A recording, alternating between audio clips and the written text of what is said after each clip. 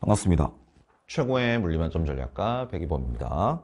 오늘은 플랜 B 시리즈 역학의 기술 버전 2 강좌를 오리엔테이션 하도록 하겠습니다. 뭐 이미 이제 제가 운영하고 있는 한 10여 종 정도의 N제 시리즈 중에서 뭐 어떻게 보면 이제 가장 뭐 기본적이기도 하고 기초적이기도 하고 가장 많은 학생들이 또 수강하고 있는 베스트셀러이기 때문에 여러분들이 이미 뭐 그 평판, 그 다음에 강좌 특징 이런 것들은 어 잘 알고 있을 거라고 생각이 들어요. 이미 3년째 이제 올해 운영이 들어가는 강좌니까 아무래도 좀 익숙한 선배들의 뭐 입소문으로도 또는 뭐 여러분들이 이미 이제 뭐 제 커리큘럼 어 쭉 이제 살펴보시면서 아 이거를 뭐 이미 뭐 버전 1을 수강하신 분들은 굳이 버전 2를 수강하지 않, 이게 OT를 보지 않으셔도 상관은 없습니다. 그러니까 버전 1과 버전 2의 큰 차이는 없어요. 그래서 이제 버전 2를 새롭게 들으시려는, 그러니까 버전 1을 skip하고 버전 2를 들으시려는 분들이 좀 필수적으로 수강해야 되지 않을까라는 생각이에요. 버전 1을 들었다면 이미 이제 플랜 B 시리즈가 어떤 취지에 어떻게 운영되는 강좌다. 그러니까 난이도만 조금 차이를 준 거거든. 그러니까 난이도만 살짝 올렸습니다. 여기까지만 들으시면 돼요. 그러니까 버전 1을 수강하고 버전 2로 넘어오시겠다. 이런 분들이 이제 더 많긴 할 텐데, 그러면 사실 OT를 굳이 안 봐도 상관은 없다는 거. 그러니까 대동소이한 컨셉과 이제 운영 방식을 가지고 진행되는 강좌다. 다만 난이도를 좀 올렸다. 당연하겠죠. 원을 듣고 투를 듣는 학생들 입장에서 더 쉽거나 같은 난이도면 사실 좀 훈련의 효과가 좀 많이 떨어지거든요. 그러니까 학습 효과를 좀 더 극대화하고 버전 1에서 익혔던 부분들을 조금 더 확장해서 적용해보는 그런 연습들을 하도록, 하도록 좀 유도하는 강좌다라는 생각이면 어, 잘 이해가 되실 겁니다. 뭐 기획 의도는 그러니까 사실 원래 기획 의도는 이랬어요. 이게 약간 최근 들어 좀 퇴색이 됐는데 원래 기획 의도는 어, 원래 기출을 수강하고, 그죠?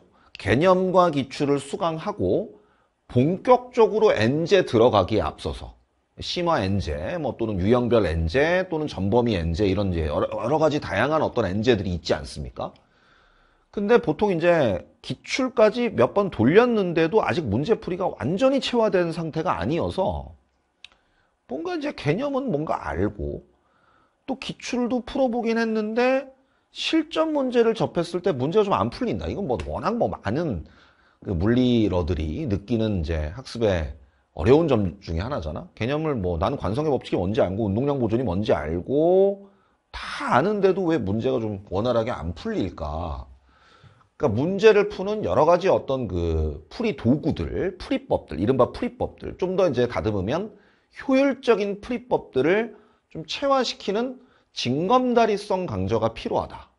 이런 학생들을 위해서 기획을 했는데 이 플랜 B가 뭐 어떻게 보면 이제 여러분들에겐 더 도움이 됐던 모양이에요. 제가 의도했던 것보다도. 그래서 오히려 최근에는 뭐 삼순환 기출 보기 전에 플랜 B부터 본다. 이런 학생들도 꽤 많더라고요. 왜냐면 삼순환 기출, 기출이라는 게 그렇잖아. 쉬운 문제도 있지만 기출을 풀다 보면 어려운 기출들도 있는데 사람은 자기가 쉬운 걸 풀었을 때 잘 풀었다는 생각보다는 어려운 걸 풀었을 때 막혔다는 생각이 이제 온몸을 지배하니까 10개 풀어서 7, 8개를 풀어도 한두 개에서 막혔던 부분들에 뭔가 이렇게 답답함이 있단 말이죠.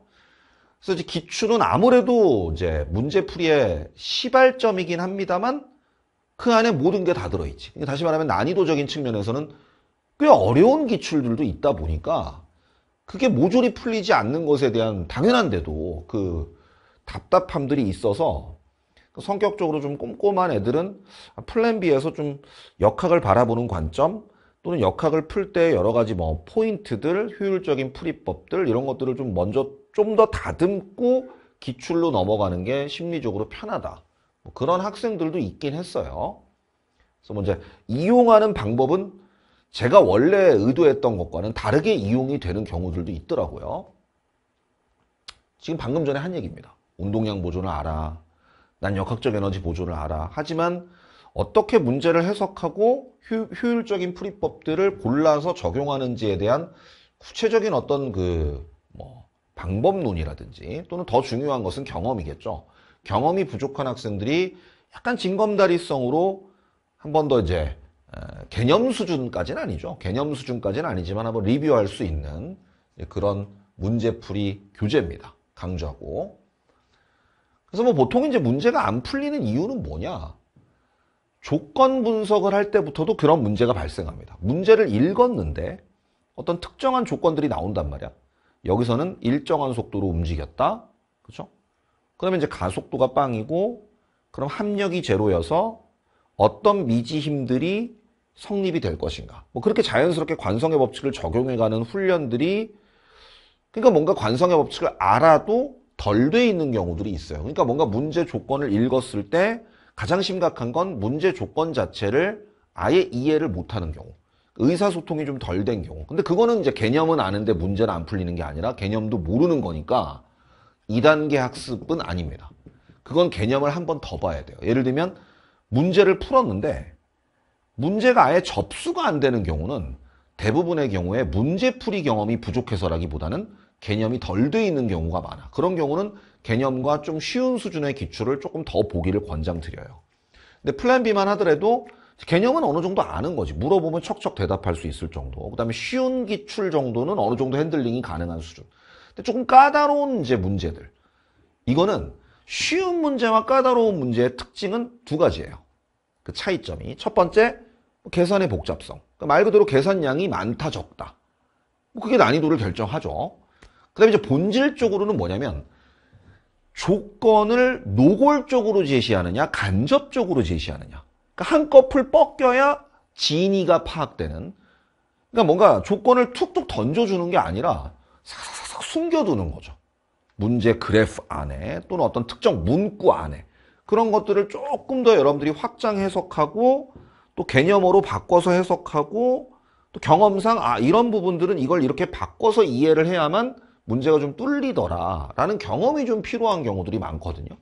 그 이제 약간만 조건을 숨겨놔도 그 진입 파악이 안 되는 학생들은 그런 경험들을 좀 해봐야 됩니다.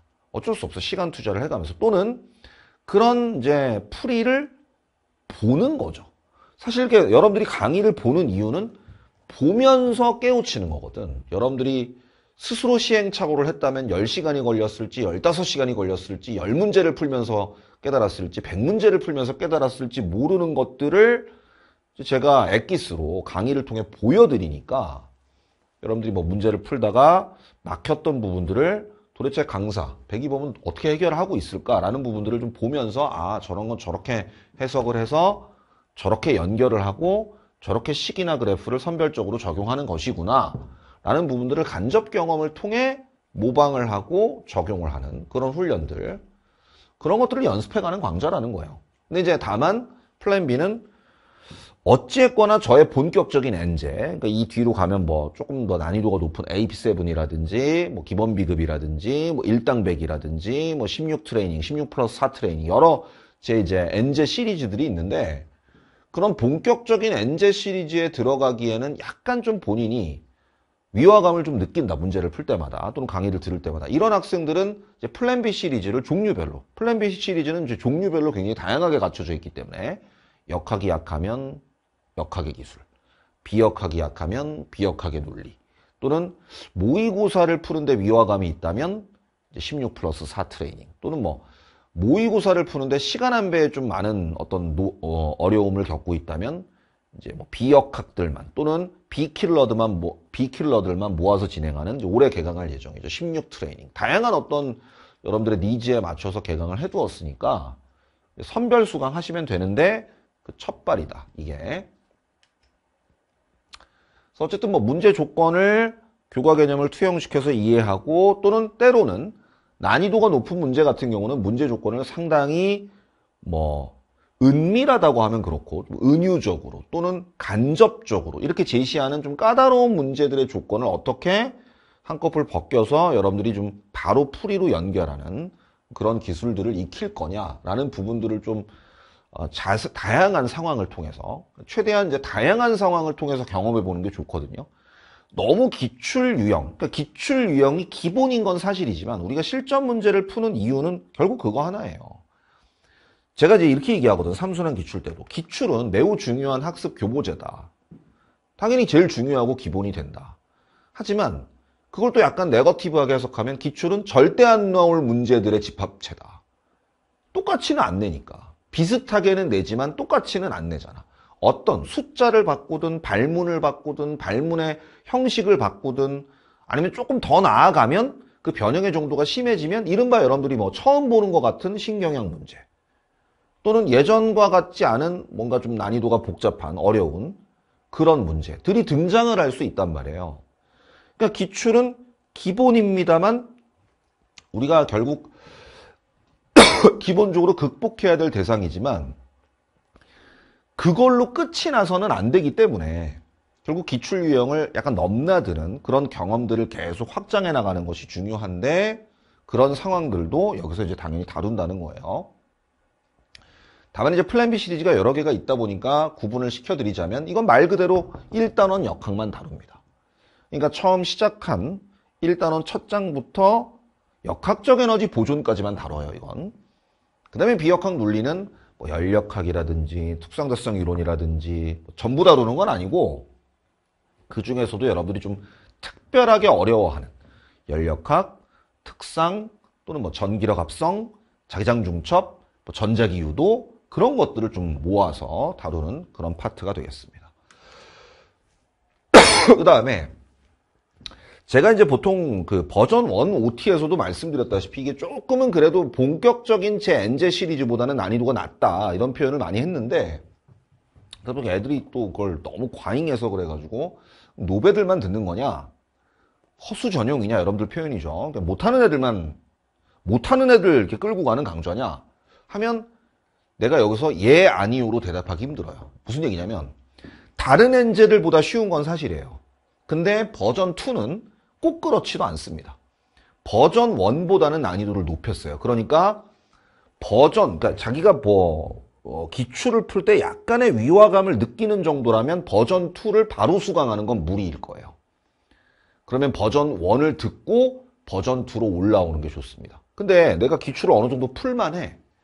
나는 기출을 풀만한데 때로는 킬러도 곧잘 풀어. 그런데 역학만 한번 모아서 한번 흔들어서 정리하고 싶은 학생들은 버전 2를 바로 들으셔도 상관은 없어요. 그런 정도는 제가 이제 버전 2 개강 임박해서 조금 더 구분을 지어드려야 될 것 같아요. 그러니까 이건 예, 아니오로 대답하기 힘듭니다. 근데 버전 2는 아니오에 가까워요.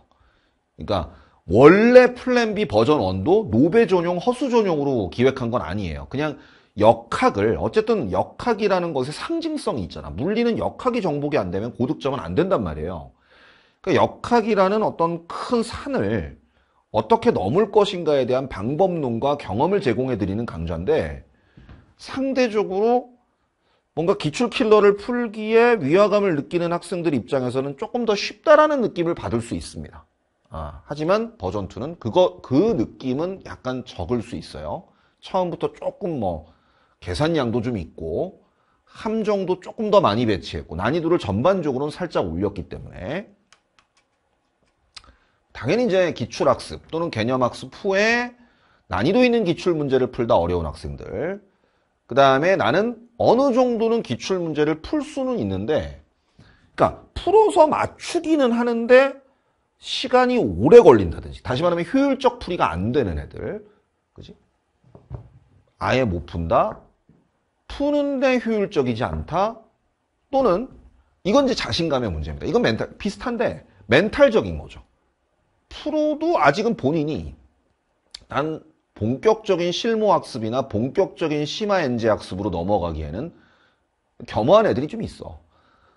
좀 이른 것 같다. 난 조금 더 바닥을 다지고 기본 내공을 좀 더 다지고 가고 싶다. 이런 학생들은 플랜 B를 한 권 정도 풀고 가도 좋아요. 슬림하잖아. 문제가 많지는 않기 때문에. 역학 유형은 다 들어 있습니다. 전체. 그 다음에 연습에 최적화된 난이도를 좀 고루고루 배치했어요. 쉬운 문제도 있고 적당한 문제도 있고 플랜 B지만 꽤 어려운 문제도 있습니다. 그 다음에 꽤 신선한 문제들도 있어요. 새로 출제한 것들이기 때문에 그래서 뭐 이제 교재는 뭐 플랜 B 1권과 동일해요. 플랜 B 버전 1과 똑같습니다. 본 교재 한 번 더 반복할 수 있는 워크북과 정답 및 해설 전체 16개의 세부 테마로 120문제를 수록했고요. 난이도는 고르다. 그 다음에 이번에 새로 출제했습니다. 작년 말부터 출제 들어가서 한 2개월에서 두 달 반 정도죠. 저희가 이제 최종 원고를 받은 시점이니까 어, 플랜 B 1권을 집필했던 팀에서 여전히 또 담당을 해주셨어요. 저희 이제 외주 출제팀 그리고 저희가 내부 검토를 하고 어, 저희가 의뢰한 난이도와 형식에 맞게 좀 협업을 해서 제작을 했다는 거. 뭐 구성은 그냥 그렇습니다. 뭐 구성은 사실 이제 보시면 아죠. 알죠. 문제가 있고 뭐 약간의 개념 요약과 풀이법 요약된 섹션이 있는데 강의 진행상으로는 문제를 풀면서 진행을 해요. 워크북은 순서를 바꿔서 한번 쭉 다시 한번 재반복해 볼 수 있도록 구성을 했고요. 근데 이제 워낙 플랜 B가 문제가 좋다라는 소문은 많이 났어요. 이미. 그러다 보니까 강의 들을 시간은 없는데 문제가 좋다니까 교재만 구해서 풀자. 근데 엔제는 그게 사실 실무도 저는 바람직하지 않다고 봐요. 그러니까 자기가 풀어서 해설지 보고 맞춰보는 게 물론 효율적이긴 하지만 몇 개만이라도 발췌 수강이라도 좀 하면서 저와의 풀이를 비교, 비교 대조해보는 그런 시간은 빠르게라도 좀 갖는 것이 조금 더 교훈의 의미에서 봤을 때는 교훈을 좀 더 누적해 간다, 축적해 간다는 의미에서 봤을 때는 수강을 좀 병행하시는 걸 권장을 드립니다. 이런 거. 그래서 어쨌든 버전 1.0과 거의 대동소이한 컨셉과 구성으로 만나 뵙게 됐고 난이도를 살짝 높였다는 거. 어, 기존의 제 의도와는 달리 이제 기출을 풀기에 앞서서 보거나 기출을 푼 이후에 보는 학생들 또는 뭐 뒤늦게 나중에 이제 다 풀어보고 시중에 나와 있는 이제 다 풀어보고 또 하나 풀 거 없는데 플랜 B 또 풀어볼까? 뭐 이런 학생들 마저도 있으니 제가 뭐 딱히 어떤 시기에 이런 학생들이 꼭 이렇게 들어 라는 걸 강제할 수는 없겠으나 본인의 형편에 맞게 어쨌든 역학에서의 어떤 최대의 어떤 효율성 학습에서의 효율성과 또 성취를 좀 극대화시키고자 하는 학생들은 이 역학만을 딱뚝 떼 가지고 정리하기에는 최, 최적화된 강좌니까 뭐 그렇게 활용을 하시면 좋을 것 같습니다. 가급적 전, 저는 개인적으로는 6월 모평 전 상반기 때 한 번 정도 짚고 넘어가는 게 바람직하다라고 봐요. 이렇게 해서 역학의 기술 버전 2 어, OT를 마무리하도록 하겠고 강좌는 좀 스피디하게 진행이 될 거예요. 120문제밖에 안 되니까 한 15강에서 20강 사이 정도의 분량으로 아마 3월 학평 전후, 직전 직후에 아마 어, 완강이 될 가능성이 되게 높은데 이번 3월 학평을 대비하는 어떤 기분으로 풀어보셔도 괜찮을 것 같긴 합니다. 그렇게 따라오시면 좋을 것 같고요. 저는 또 강의실에서 건강한 모습으로 찾아뵙도록 하겠습니다. 수고 많았습니다. 감사합니다.